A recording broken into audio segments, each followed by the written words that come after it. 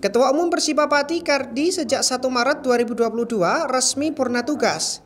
Kardi mulai menjabat sebagai Ketua Umum Persipa setelah Wakil Bupati Pati sekaligus Ketua Umum Persipa Saiful Arifin resmi mengundurkan diri pada tanggal 30 Desember 2020 dan pihaknya selaku Wakil Ketua ditunjuk menggantikan jabatan Ketua Umum hingga akhir masa jabatan.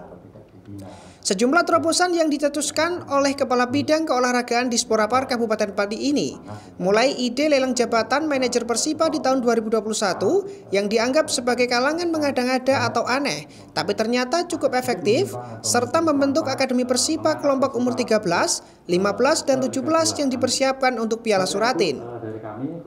Dengan sentuhan di masa jabatan yang cukup pendek ini, ternyata berhasil mengantarkan skuad Persipa di bawah manajer hasil lelang jabatan Dian Dwi Budianto mampu membawa Persipa sebagai juara Liga 3 Zona Jawa Tengah musim 2021. Selain itu, ia juga menghantarkan Persipa masuk ke babak 16 besar putaran nasional. Tidak sendirian, mantan pemain Persipa di era tahun 1995 hingga 2000-an ini didukung pengurus Persipa lainnya, serta anggaran dari Pemkap dengan persetujuan DPRD Pati.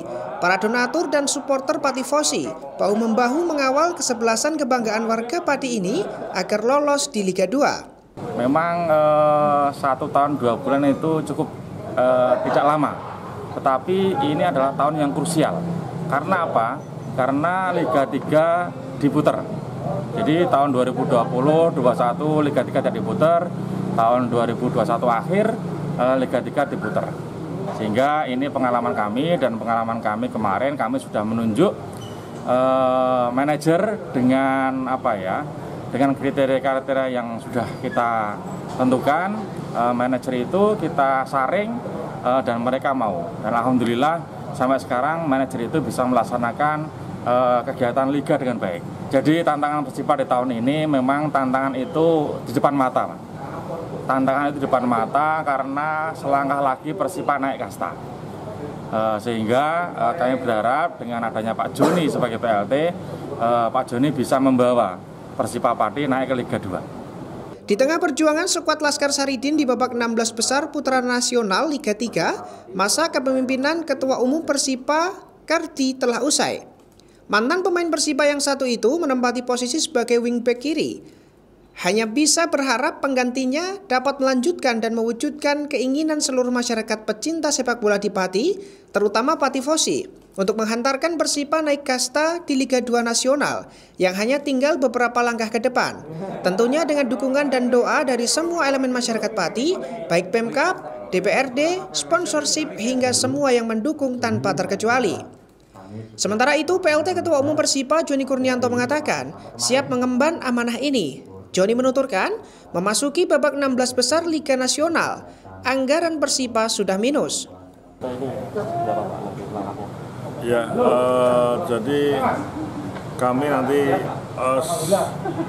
sudah ya berat juga atau tidak ya juga tidak berat, tapi ya ini semua uh, amanah dan nanti insya Allah secara maksimal mungkin lah.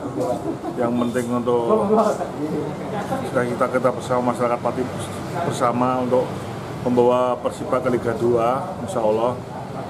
Jadi langkah yang pertama adalah nanti saya ketemu Pak Bupati kemudian Pak Ketua DPRD dalam artian untuk pemenuhan anggaran-anggaran yang harus kita uh, tambahkan karena menuju ke babak 16 besar ini kita sudah minus sebetulnya dan ini harus tetap harus kita peduli karena tinggal dua kemenangan lagi kita insya Allah bisa menuju ke Liga 2 jadi eman-eman kalau tinggal dua langkah ini tidak kita lakukan dengan uh, benar.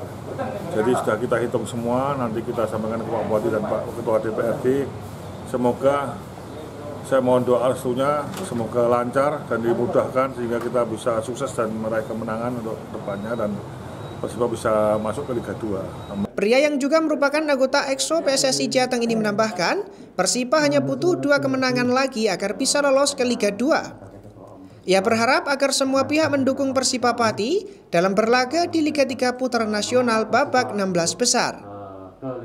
Tim Liputan, Cahaya TV.